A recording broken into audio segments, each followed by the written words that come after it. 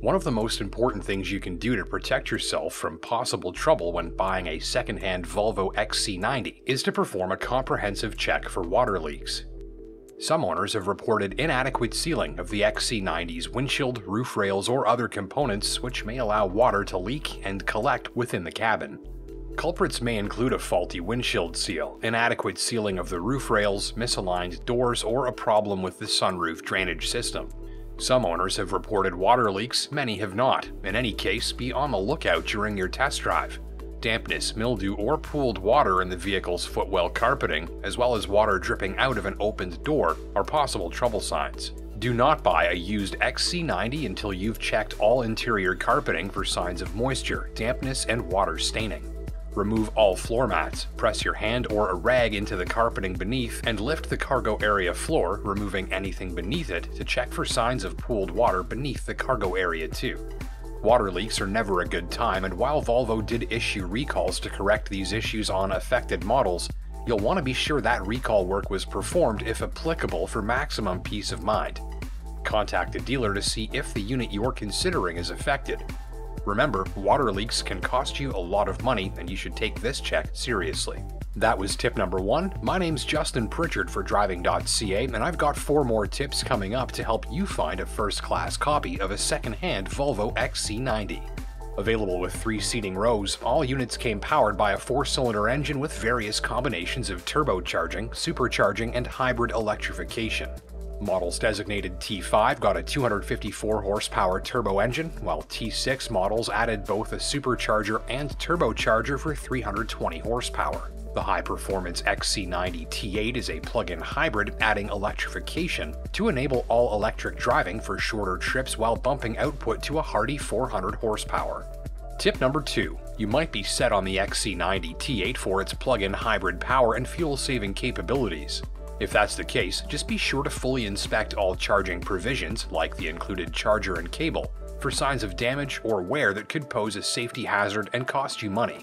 You'll want to triple check the charge door for proper operation, be sure to connect the vehicle to a charger for a few minutes to make sure no warning or error messages appear in the instrument cluster, and finally, have the vehicle seen by a hybrid certified Volvo technician before you buy for maximum peace of mind. For loads more information, pricing, specs, reviews, photos, and videos on this generation XC90, head on over to driving.ca or click the link in the description below. You'll find a hub of valuable new information on this model.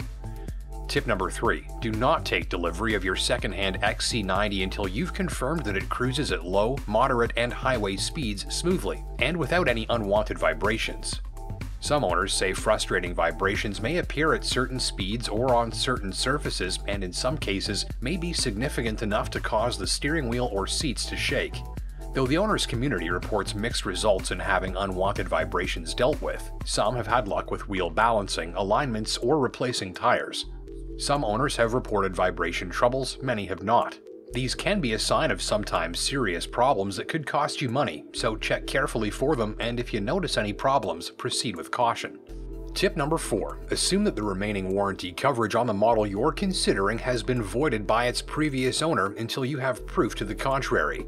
Maintaining a used vehicle's warranty in good standing requires strict adherence to all factory prescribed maintenance, inspections, and fluid changes.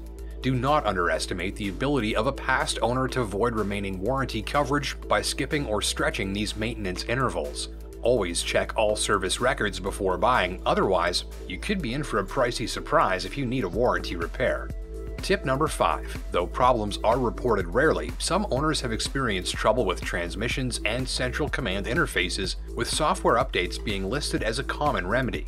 Software updates are sometimes used to improve or correct the operation of vehicle systems, and they're often applied while vehicles are in for service at their dealership. If you're buying a used XC90 that's been regularly dealer serviced, there's a strong chance that updates and improvements like these have been applied already. If you're finding this video useful, please consider leaving a like down below and clicking on the subscribe and notify icon so that you never miss a new upload. And finally, remember that a weak or dying battery can cause a slew of issues as well, and that replacing that weak or dying battery can fend off a multitude of headaches.